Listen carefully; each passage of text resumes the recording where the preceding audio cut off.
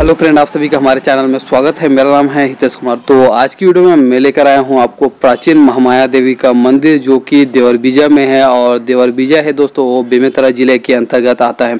तो चलिए आपको लेकर चलते हैं इस मंदिर में। और मंदिर से जुड़ी जानकारी आपको इस वीडियो में देंगे। अगर वीडियो अच्छा लगे तो लाइक कमेंट और शेयर ज़रूर कीजिए।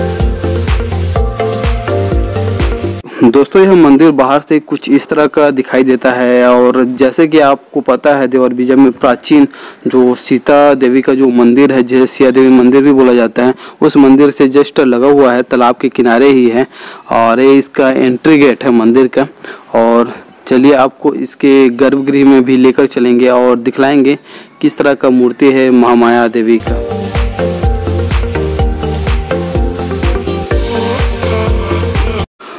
चलिए दोस्तों, हम इस मंदिर में प्रवेश करते हैं, जहाँ पर विराजमान है महामाया देवी। और जस्ट आप सामने से भी देख सकते हो, ये सामने ही है महामाया देवी का जो मूर्ति है, दोस्तों।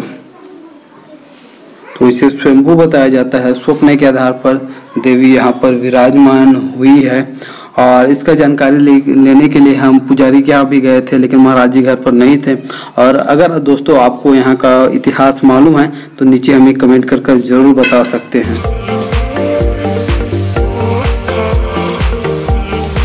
जस्ट मैं मंदिर परिसर के अंदर ही हूँ दोस्तों और एक छोटा सा मंदिर है महामाया देवी का और जहाँ पर विराजमान है महामाया देवी। और यह जो स्वप्न के आधार पर देवी यहाँ पर विराजमान हुई है और यहाँ के बारे में ये बताया जाता है दोस्तों कि पुरुषों को ही यहाँ गर्भगृह में प्रवेश कर सकते हैं।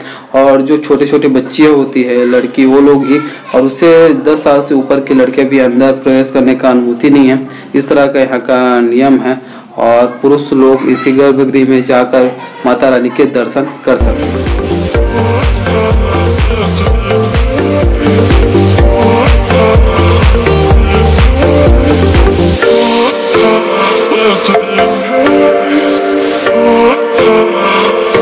आज की वीडियो में हमने देखा देवर विजय का प्राचीन महामाया देवी का यह मंदिर।